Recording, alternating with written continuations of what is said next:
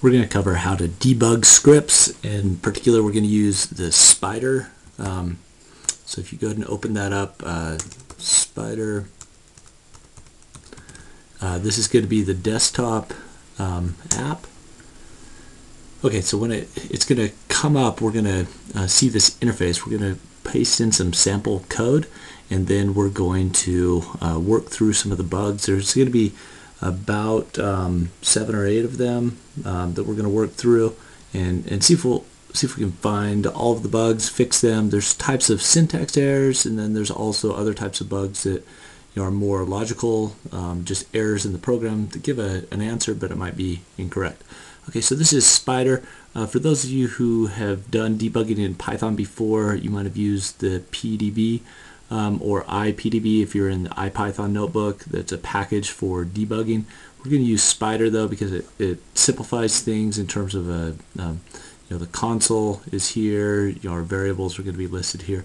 So to come and get the um, source code for this, come to the uh, course website apmonitor.com slash che263 and then we're going to come down here to homework and uh, one of the files that you'll download as part of assignment 11 is going to be um, this this uh, py file. This is going to be problem number six. as part of that homework. I'm just going to go ahead and copy that out of there so I can open it up in Spyder. Okay, so there's Spyder. Um, what I'll do then is go File, Open. Let me just go to my desktop and open it up. Okay, so here's the um, here's the console, um, and then what we'll do is first of all just let me go ahead and close temp there. Uh, is is go ahead and just try to run it. Okay, so the the first thing to do is to go ahead and fix the syntax errors. Okay, and so you see the first one it ran, and you'll see that um, says invalid uh, syntax right here, and then it points to the place where um, you know, it might be missing something. In this case, um, let's go ahead and just go to that uh, location, go ahead and select it, and then it'll bring you down to um, this area right here, and it said that the error was right, um, right here. Okay, so that's just a colon there that you need, and then if you run it again, you'll see that um, there's going to be another one right here as well. So after the if statement and the else statement, don't forget to add the colon. Okay, I'm going to go ahead and save that and then hit the green arrow up here again. Uh, that's going to allow you to run it and then we'll see uh, the next area uh, where there's a problem. Okay, so it um, okay, so we have another error. A lot of times uh, the best thing to do is to uh, look for you know the first error in the list if there's a lot of errors. Um, in this case, it just um, the first meaningful error that it gave us is pointing to this line right here. Okay from this integrating this function. So we're going to go to line uh, 69 and then take a look at this. So what I'll do is uh, first of all just add a break right there. Let's just go ahead and well actually let's add a breakpoint okay? So um, you can you can add a you can add a breakpoint um, you know just coming to this um, and then double clicking that line and it'll add a little red a dot right there. If you run it, okay, then it's going to then uh, let's see let's see if I can run this in debug mode instead. Okay so we'll debug the file versus run it. If you run it it won't stop at those breakpoints but if you click the debug or control F5 then it will debug. Okay so this is using IPDB it's just a nice graphical user interface for that you can go to Variable Explorer, for example, and see you know what variables are in your problem. If you need to adjust this, um, you get to get kind of right here on the edge. You can drag that over and see a little bit better about what's happening. Okay, so right here, um, you know, there's an error with that, but let's go ahead and just look at um, the, I'll just put result equals, and then let me go ahead and just copy this part, see what that is returning okay okay so I have new result and it's a tuple okay so uh, it returned two things and I, so I need to integrate or so I need to just get the very first one the error here is that uh, we're trying to you know divide both of these tuples this this uh, a tuple is a multiple of numbers that are um, together. So return two things. Um, and if I do help uh, integrate quad, I'll see some, oh, there's no help there. Okay, so um, you'd have to go to like an online source, like help um, integrate quad Python, okay? And that is apparently, let me type that into a Google search instead. Okay, help integrate dot um, quad and then that'll come up with um, a reference here.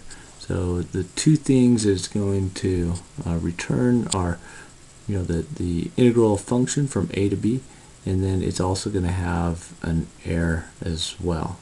Okay, the absolute error of the convergence. So we only want to take the very first thing from that. So if I just do um, integrate dot quad and then I had ps 0 to time or uh, 0 to 24 and I just took the very first element of that then it's going to return a number. Okay so let me come back in here and just put in 0 there. So so what I did on this is it wasn't so much about the integrate dot quad function but it's more about um, you know seeing how to interact with this IPDB uh, through the um, you know this Spyder interface. Okay where you can type commands you can pause you can step uh, you can step through this uh, you can stop the debugger and so forth okay? So so let's go ahead and just um, run this one more time and see where our next error I'm going to remove that breakpoint and then go ahead and run it again. Okay so it says first of all that um, okay so here it is it's running uh, again it's just a little bit cryptic here in terms of the messages if you're not familiar with it. But it says my next um, my next uh, error is right here on line 72 where PLT is not defined. So let's go ahead and just define this. Um, we needed to import um, matplotlib.pyplot as PLT. Okay, we forgot to import that package so we could use it. Okay, sometimes we just put this at the very top we import all of our packages right up here. Okay, and you'll see that we had done that, but we just named it plot instead. So I'm just going to replace that as PLT. I'm going to go ahead and save it again. Let's go ahead and run it again. F5 or the green button. Okay, so here's another error right here. This is, um, let's just go to that one. Now that went into a um, that didn't help us very much. Let's go back up and just see what we can find with this. Okay, so we were trying to plot something, okay, on this uh, plot right here. Um, hmm, let's go right here. Line 88, homework, line 79. Okay, so we went, we plotted this, and just looking at this, there's an error here. Um, and it doesn't necessarily tell us where it is, but if you look at it, you'll see that this is just misspelled. Uh, the label is misspelled there. So I had the L and the E transposed there. Go ahead and save it again. Run it one more time. Okay, so it runs now. Um, okay, so there's some solar power and mean power generated these two plots. Let's go up and see if there are any other errors here. Okay, so it ran. This is where we started the next uh, next run right here. Um, but it says that the total energy in a day is 0.0. So this is going to get into more of the logical errors. Now that we have all the syntax taken care of, we need to go through and validate um, some of our results. Okay, so um, let's see. We've got. Um, uh, let's see. Let's go through this. Okay, so if you go back to the um, this paper right here. Let's just go ahead and select that. We'll have to go back and just look at the equations. Um, let me get rid of these parentheses there just so I can go right to it. Now if you're on a university campus that subscribes to this then you'll have access to the article. If not then um, you probably won't. Okay, so you'll have to download this and then take a look at some of the equations. Um, now one of them that isn't quite right with this, um, if you go down through equations, um, I believe it's 5 through 13. It's the equations that are in this article right here, uh, or, or, in this uh, script right here. And there's just a problem with this, um, you know, this line right here. So go through and, and take a look at that. The, um, you know, I think it's just a problem with the parentheses there, you know, where the parentheses are located. Um, and, and so you want to uh, let's see, I'm going to go ahead and go here. One of the ways to just ver verify parentheses and the, and the correct location is to um, just highlight one of the uh, sides of the parentheses and I'll show you the matching one on the other side. Okay, so here I am right here going through the parentheses and it's just a little bit hard to see with this long line so I'm going to go ahead and drag this one over so I can look at the whole equation um, together. Okay, so let's see, I'm just going through this with the paper. Okay, so it looks like I've got a mis uh, a mismatch parenthesis um, right here. Okay, where I want to multiply. Um, okay, that whole thing right there. Okay, so just a problem with the parentheses. Um, just to fix, uh, you know, what's multiplied first versus subtracted or added. Okay, and then uh, the final thing that I want to do is, is run it. Let's just look at our energy again. Okay, total energy in a day is still zero. All right, so I'm going to come down here to, um, you know, this is, I'm trying to get the very last point in the horizon. So another thing you can do is just uh, print statements. Print statements are nice. I'll just print uh, yes at the very end energy stored. Okay, and if I make this just a little bit wider on this side, I can see this array. Okay, so you can see that we're just plotting that, this energy stored.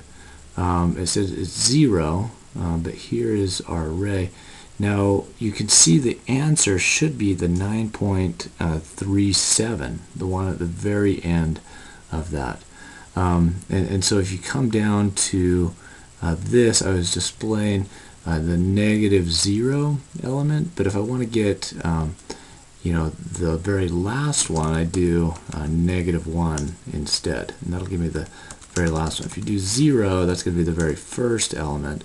And so the error here was that negative zero does not give the last element, it just still gives uh, the first element. So you need to do a negative one there.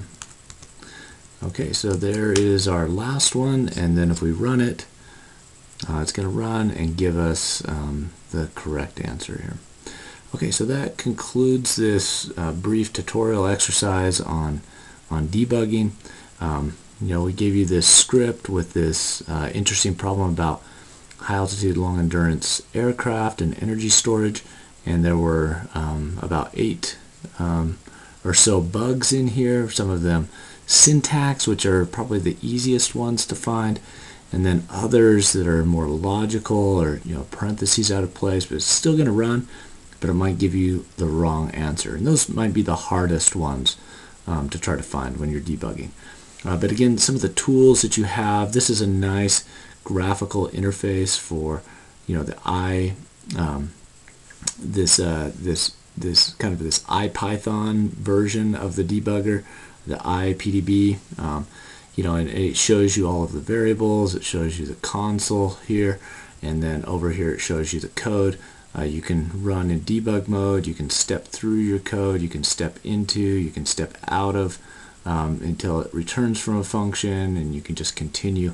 You know, in, including breakpoints along the way. Whenever you want to stop, and then uh, continue again, you kind of step through and see the evolution of these variables being built.